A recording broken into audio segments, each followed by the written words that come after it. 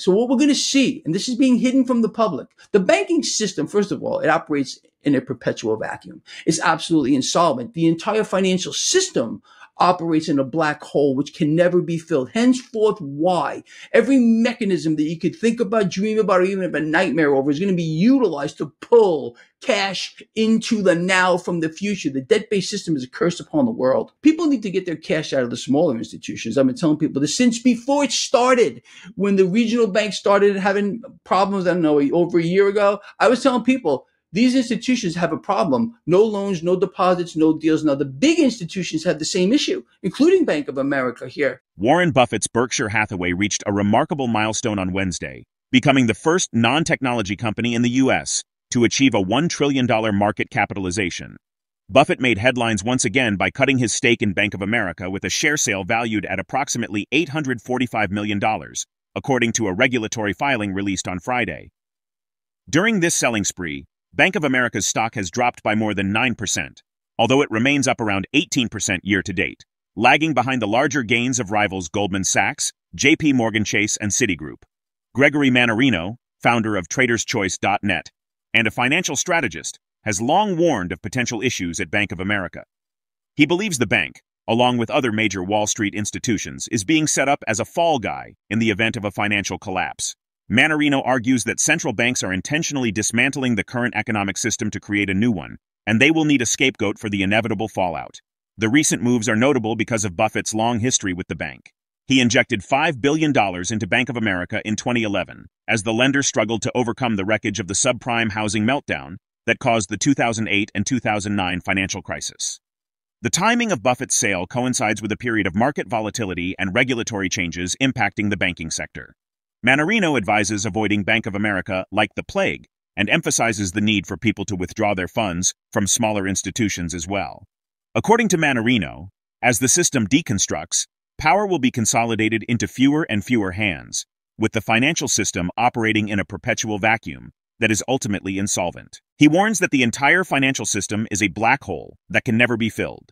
Join us as we dive into the video for a deeper look. Don't forget to subscribe and click the bell icon to stay informed about our latest updates. Bank of America has got problems, and I, have been telling, I've been, I've been warning about this for years.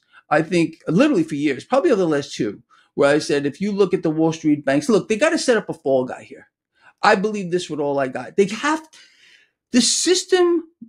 People need to have uh, an entity to blame. What they're doing here, okay, obviously this deconstruction of the system, they need a scapegoat. It can't be that it's central banks that are bringing the world to their knees. You're not going to hear any presidential candidate talk about this. They can't point their finger at the Federal Reserve. It's a blame game. It's just the way it is. The Federal Reserve, these guys, you know, they're on the side of angels. Okay. So they're, they're helping us. They want to get us out of inflation, which they could have ended in a nanosecond if you want to talk about that. The real way they could have gotten rid of inflation, but it would never happen. But anyway, so with, with, with, with this whole thing with Bank of America, I believe that they're being set up as the fall guy for there's going to be an event they have to point to it whether it's going to be another scamdemic i believe something hideous they're going to spring because last time the you know the face diapers and all that stuff wasn't enough didn't create enough fear imagine a disease process where there were marks on the body i just poked myself in the eye where um, people would run to the doctor, in my opinion, and get that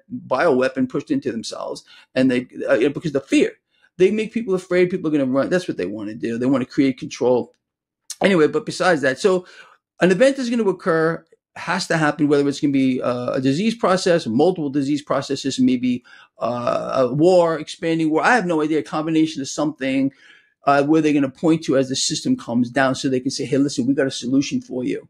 Um, and of course, the central banks are more than going to be more than happy to say, hey, you know what? We have a, they already have a solution here. They're destroying their own system. They're betting against their own system by hoarding gold, central banks, but they want us to participate in it. They don't want you in gold. They don't want me in gold.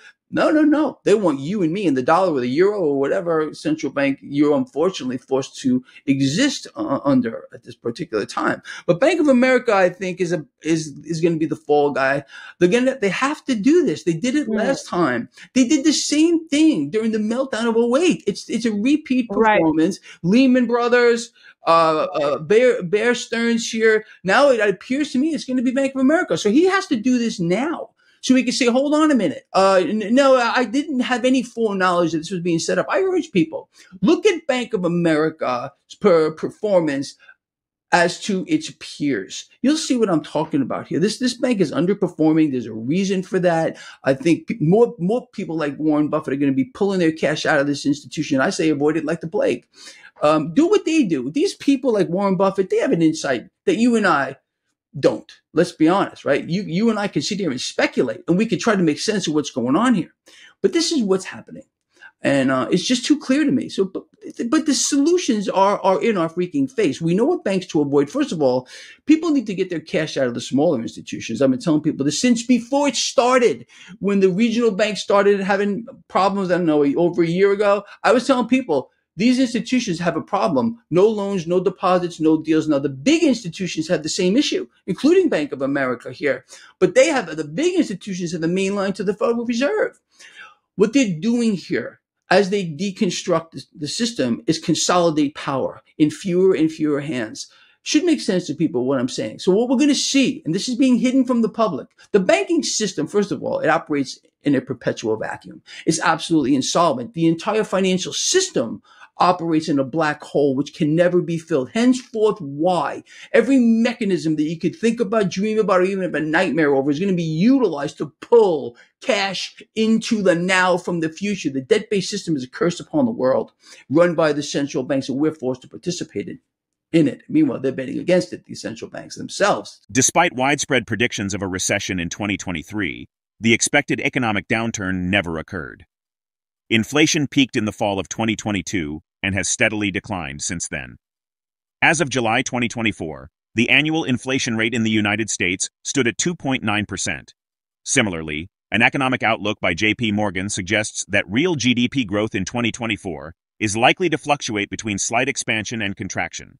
However, consumer spending, as measured by personal consumption expenditures, PCE, appears to have reached its lowest point. Data from the Congressional Budget Office, CBO, indicates that spending is growing at a rate of about 1.1% this year, a significant decrease from the 2.2% growth rate seen in 2023. Despite claims that the U.S. economy is thriving, Mannarino argues that we are being led down a path toward a new two-tier society. He points out that under the last three U.S. presidents, more billionaires and millionaires have been created than ever before, while the middle class has been drained of its resources and pushed toward the lower economic rung. Time to watch the video and uncover more insights. Well, what they're trying to do here, look, I believe we're moving into a, whole entire new system. This new, this system that we're in must be deconstructed. It must be deconstructed, and that's this has been going on for quite a while now. Part of that is creating dependency on the system. They are creating dependency on the current system that they themselves are betting against. What they don't want a three-tier society anymore. What they're looking to build worldwide is a neo-feudal system. Extreme haves, extreme have-nots. They want a slave class down here that's going to work for nothing or maybe actually be slaves yet again here. This three-tier society is a relatively new thing. It's only a couple hundred years old. Before that, people lived under the rulership of kings and queens. Today, you know, we're supposed to be this this nation here, the United States, specifically um, try to pull away from that feudal system being ruled underneath a king. Uh, and, and, but we're being pushed back. They don't want it. They, they, they don't want this right now. Uh, we, the people, unfortunately, of the world, um, have lost the ability or maybe the understanding that we are supposed to be able to govern ourselves. Instead, it's that, that that whole thing has been swept away. People have no idea. They think that it's they that some other person is going to have their best interest in mind. You got to be freaking kidding me! Ain't the truth? Um, but that's what they're doing here. This is a move to. I can't even define what we're going into, but it's some type of a neo feudal system. Extreme haves and extreme have nots here, and the more and that's another thing That's another reason why I don't believe they're done. I think central banks are in their final phase here. I really do. And that's what we're going to see an accelerated uh, currency devaluation and central banks right now instituting emergency monetary policy. Meanwhile, we're supposed to be doing great. Our economy is the envy of the world. You remember that out of the mouth of Biden recently? Now our economy is literally the envy of the world. What they're doing here is, again, leading us down that pathway, unfortunately. And, um, and that's what they're doing here. They, they really want to foster a, a, a two a new two tier society, and I think we're getting there right now. Do you realize people don't have any idea that under the last three presidents here in the United States, we've seen the one and two percenters, we've seen more billionaires and millionaires being created in the last three years than ever in in, in history. How does that work? And while the, everyone else is suffering here, the system is designed right now and being pushed into a way to remodel it, to reshape it, to deconstruct, lead to a new one here. So the one and two percenters own it all. They, uh, and not just own it all again, are the ones who they are benefiting from the system while everyone else pays for it. It's always the middle class. The middle class has been sucked dry. They don't have much left and people are being pushed to the lower rung. I told people this was going to happen years ago and it's happening right now to a very accelerated degree. And I think it's going to get worse moving forward. As of August 2024, the Federal Reserve's interest rates are at historically high levels, ranging between 5.25% to 5.50%, marking the highest point in 23 years. This elevated rate has been maintained since the beginning of 2024, following a series of 11 rapid rate hikes implemented throughout 2022 and 2023 to combat inflation. On the other hand, Warren Buffett's recent sale of Bank of America stock aligns with a period of market volatility that has placed pressure on the banking sector. This strategic reduction in holdings, which coincides with significant fluctuations in the market, could be interpreted as an attempt to capitalize on recent price gains or to reallocate resources to potentially more lucrative opportunities. This move reflects Buffett's adaptive investment strategy and his ongoing effort to optimize his portfolio in response to changing market conditions. How are you preparing for possible future economic shifts or crises? What strategies are you employing? Share your feedback in the comments below. If you found this video useful, hit the thumbs up and subscribe to keep up with our latest updates. We appreciate you being a part of this journey